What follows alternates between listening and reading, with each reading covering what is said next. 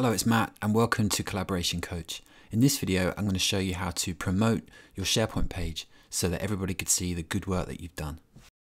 And just before we get started, if you like this video and you want to learn more about SharePoint, check out our SharePoint Champion course over at our school. The course has hours of video tutorials plus quizzes and how-to guides. You'll get 10% off when you buy the course and use the offer code YouTube. Check out the description for more details. Promoting your page is optional, but it is a really good way of making sure that everybody sees the work you've done.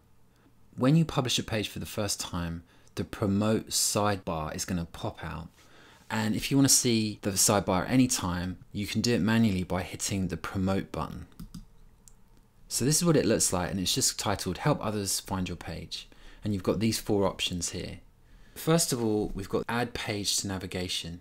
When we press this button, you'll notice that there's now a Training Central link to the navigation.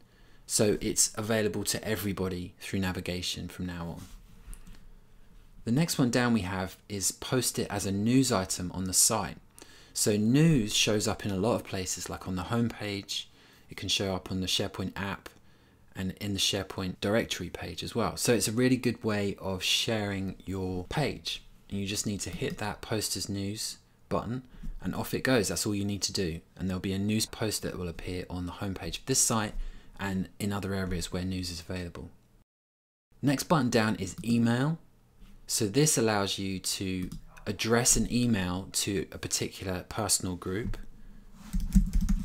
So the finance team, for example, and I can add a message and then I can send it. So that's now sent an email to the whole finance team and then I can save the page as a template. You can also share the page address. So if you wanted to copy the address and paste it into a chat window or into an email, then you can do that too. So there's a few ways of making sure that people see all the good work you've done. Thanks for watching and if you like this video then please check out our SharePoint Champion course over at our school at school.collaboration.coach.